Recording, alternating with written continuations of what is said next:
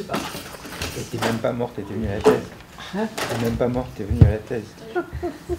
Voici les premiers mots de Bernard Pinault à sa mère, qui a dû attendre 67 ans pour voir son fils devenir médecin généraliste.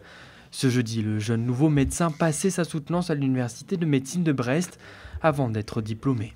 J'ai une partie âge normal, études euh, jusqu'en sixième année, un petit arrêt de 30 ans, et puis ensuite reprise, euh, parce qu'entre-temps ils avaient inventé le scanner, euh, ils ont inventé l'IRM, ils ont inventé euh, l'échographie, ils ont inventé des nouvelles thérapeutiques, ils ont, ils ont voilà, donc euh, j'ai dû reprendre ça et j'ai repris en quatrième année.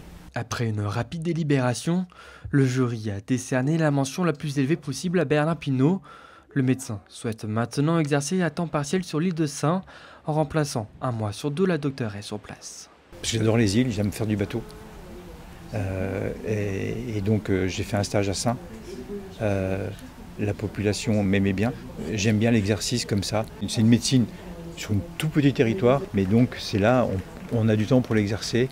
Euh, on n'est pas pris par le temps. Une consultation peut durer 5 minutes ou une demi-heure. Il n'y a personne qui va, qui va rouspéter. Une bonne nouvelle pour l'île de Saint dont le maire attend déjà avec impatience son nouveau médecin généraliste. Une île sans médecin ou infirmière, euh, c'est une catastrophe. Donc on est très content si une solution est trouvée en remplacement du docteur Mastias, dont on regrettera le départ. Mais pour le moment, l'île de Saint va devoir tout de même attendre début novembre pour voir débarquer sur ses terres le nouveau médecin.